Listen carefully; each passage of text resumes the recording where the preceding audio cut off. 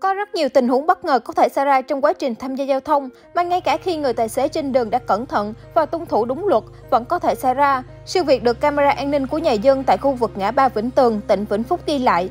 Cụ thể, vào khoảng 5 giờ 30 phút sáng ngày 24 tháng 5, khi chiếc xe container đang di chuyển tại đoạn đường trên đã bất ngờ gặp một người đàn ông cởi trần, bất chấp lao vào đầu xe. May mắn tài xế xe container đã kịp thời dự đoán được tình hình và nhanh chóng phanh xe lại. Người đàn ông chui vào gầm xe nhưng may mắn không bị thương nặng. Tuy nhiên, người này sau khi chui ra khỏi gầm xe lại một lần nữa lao vào bánh sau khi tài xế vừa di chuyển. Lần này do khuất tầm nhìn cũng như diễn biến quá nhanh khiến tài xế xe container không kịp phanh, khiến nạn nhân bị thương nặng và tử vong. Ngay sau khi tai nạn xảy ra, cảnh sát địa phương và cơ quan chức năng cũng đã tiến hành điều tra xác minh nguyên nhân vụ việc, kiểm tra hiện trường.